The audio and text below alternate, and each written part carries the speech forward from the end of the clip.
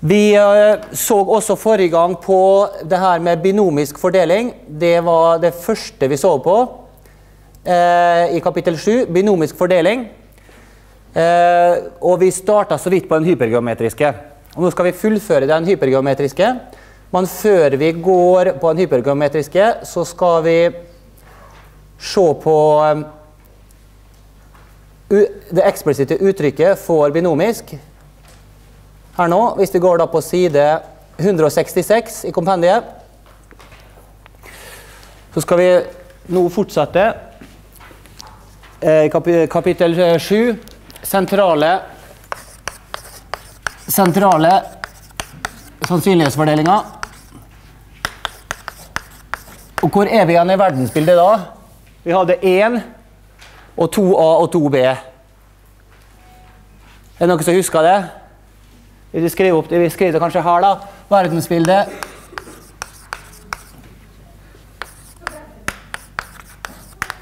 Uten å se på notatene, hva var verdensbilde 1? Observasjoner. Og 2, det var stokkvar. Og da hadde vi to underkategorier. Tabell. Og det andre var eksplisitt uttrykk Eksplisitt uttrykk for, for sannsynlighetsfordelinga. Og hvor er vi igjen i kapittel 7? Da har vi her 2B. Og hvor er vi hen eh, Det blir litt reprise, men jeg tror det er sunt allikevel. Og hvor er vi hen eh, her? 1, ja. Det er rett. Men la oss nå se på kapitlet her. For nå er vi her da i verdensbildet. Her har vi et eksplisitt uttrykk for ting. Og så utleda vi forrige gang når vi hadde en stokastisk variabel, og det var fire betingelser som måtte være oppfylt. Husker dere det? Så var det fire betingelser, og hvis vi nå ser litt på Skal vi se Der. Vi ser her at når vi har binomisk, så var det fire ting da, som var oppfylt. Da var dette her. To mulige utfall osv. Og, så videre, og uavhengighet og n antall forsøk. Og der P er altså suksesssannsynligheten. Og da var uttrykket gitt ved dette og Oi sann. Og variansen og forventningsverdien var gitt ved dette uttrykket og dette uttrykket. Det var binomisk.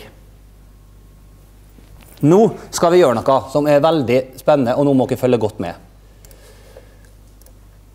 La oss se på det bildet her på side 167, og alle kan slå opp på side 167 i kompendiet.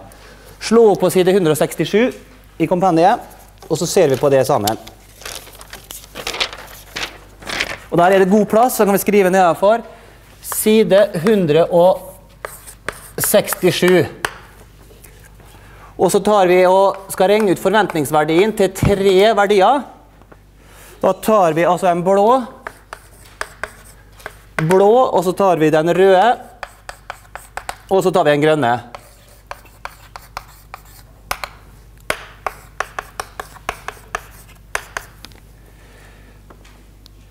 Hva er forventningsverdien? Nå er vi her på verdensbildet. Hva er forventningsverdien til den stokastiske variabelen som beskrevet av den blå sannsynlighetsfordelinga på figuren?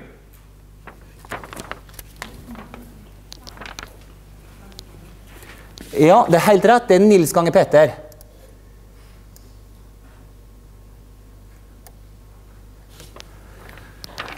Altså, jeg vil formelen først. Nils ganger Petter.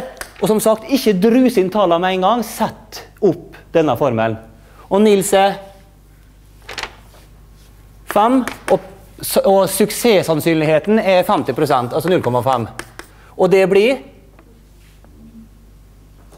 noen som tar ta i hodet? 0,25.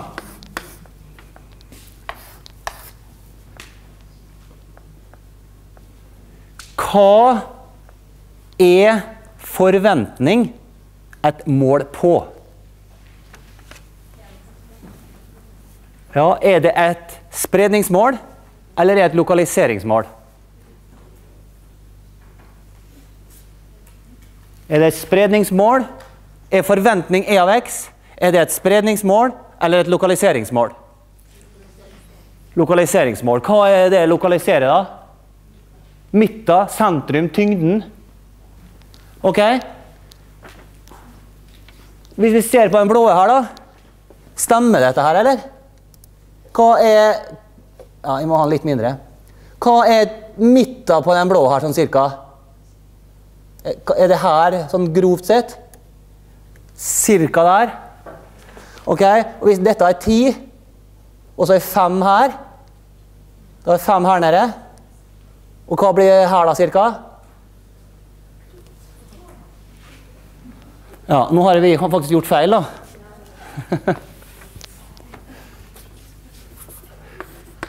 2,5 er det, selvfølgelig.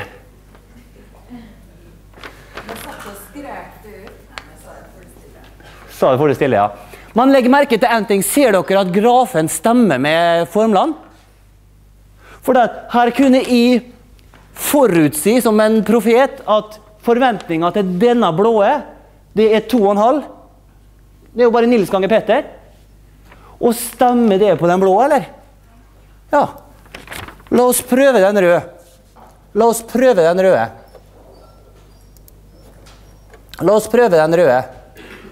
Og den røde, den er fortsatt lik Nils ganger Peter. Tyngdepunktet, sentrum om du vil, lokaliseringsspor, er fortsatt Nils ganger Peter. Fordi at her er det bind. Bind. Fordi at den der er binomisk fordelt. Altså vi er her i verdensbildet. Vi har et eksplisitt uttrykk for det. Vi snakker om stokastiske variabler. Og det er ikke tabell. Her har vi et eksplisitt uttrykk for sannsynlighetsfordelinga. Altså, vi kan skrive at x er bind Nils Petter. Og hva er Nils Petter for den røde? Ja, altså 20 ganger 0,5. Og det er 10. To strek foran, to strek bak.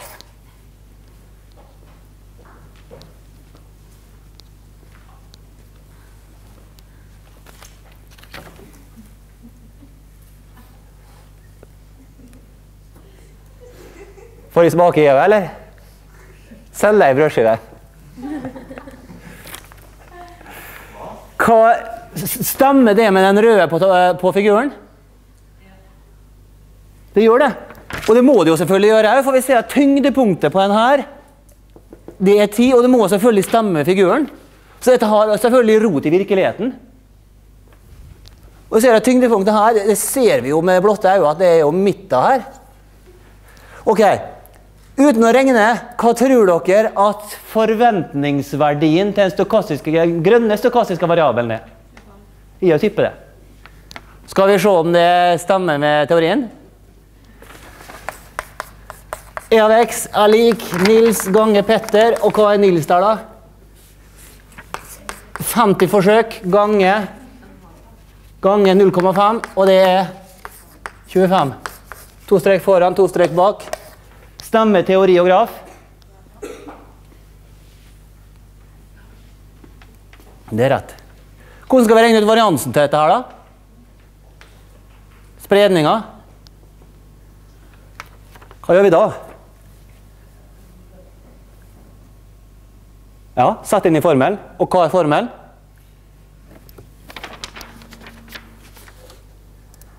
Det kan dere få lov å gjøre for dere sjøl etter timen. Og en binomisk eh, fordeling det er altså å telle opp antall suksesser. Det kan f.eks. være Nå er jeg på side 174. 174. Kan vi slå opp på side 174? Det er bare sånn oversikt.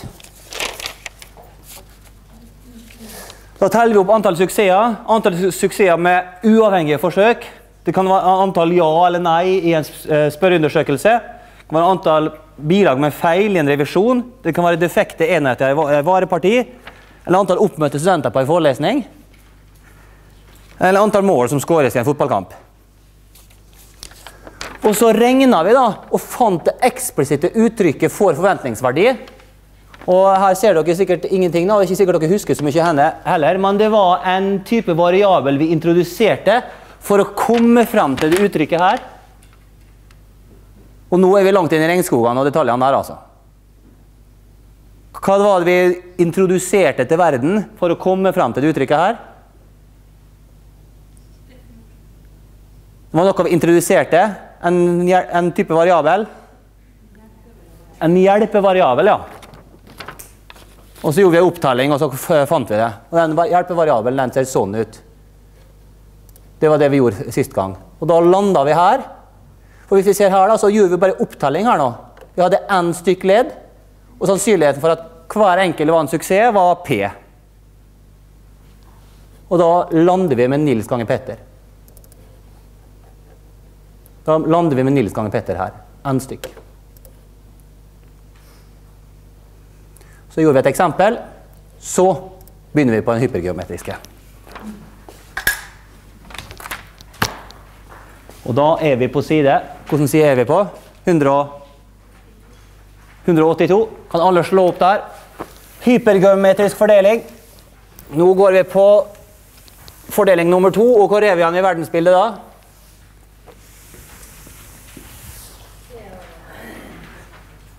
Fortsatt 2B. Det er helt rett. Fortsatt 2B. Ja, nå har vi litt annen vekting. En ny vekting nå. Og det vi gjorde sist gang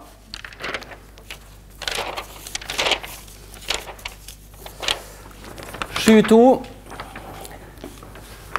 Sju to hypergeo Hypergeo fordeling.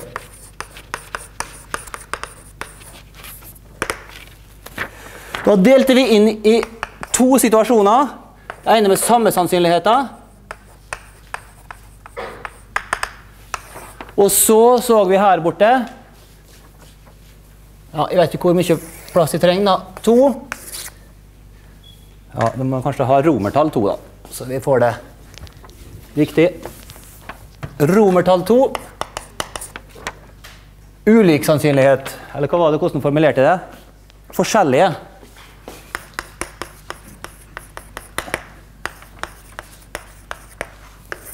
sannsynligheter. For i dette Oi sann. I denne sammenheng her så hadde vi ei urne, og la oss ta for eksempel, bare et eksempel fra revisjon. At vi har 150 bilag. Og så er sannsynlighet på 2% på at vi trekker et bilag med feil. Og så ser vi på det andre verdensbildet. Det er da at her har vi også ei urne. Og det er også 150 bilag. Men her vet vi at tre med feil. Og da er selvfølgelig hvor mange som er riktig? 147 uten feil.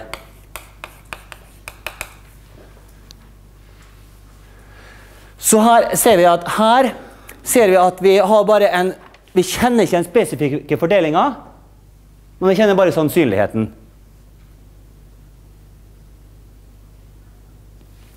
Mens her kjenner vi den spesifikke fordelinga, for det er 347. Det er fordelinga.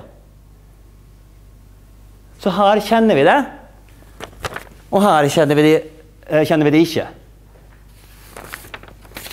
Så hvis vi ser på den første først, da med samme sannsynlighet, så kan vi prøve å finne ut. La oss gjøre trekke ett bilag herifra. Og hvor sannsynlighet er det at det første trekket inneholder et, Vi trekker opp et bilag, så inneholder det bilaget et uh, bilag med feil. Hvor stor sannsynlighet er det?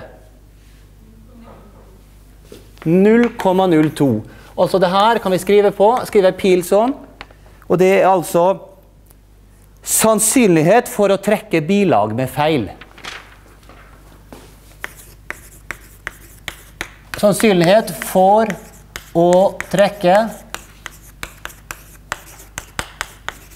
bilag med feil.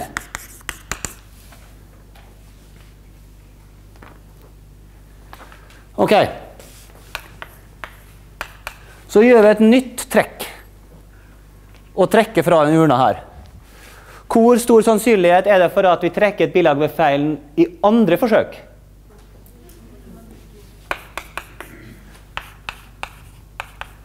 Og i tredje forsøk?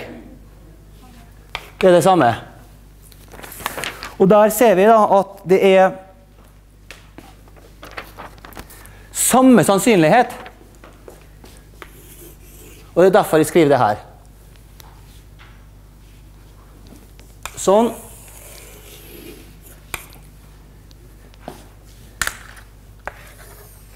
Det er samme sannsynlighet for hvert forsøk, for hver trekking. så er det samme sannsynlighet. Men hvis vi nå går hit nå Ja, jeg Vi får bare gjøre det sånn.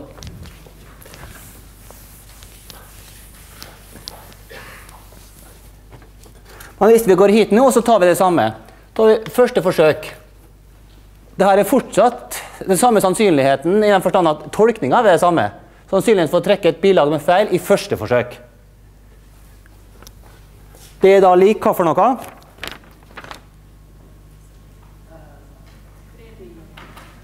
Ja, det er 3 delt på 150. Og jeg har lyst til at dere skal sette inn den kalkisen bare for å sjekke at det er riktig. Ja, dere som har med seg kalkis, kan alle bare ta opp kalkisen og bare sjekke det der.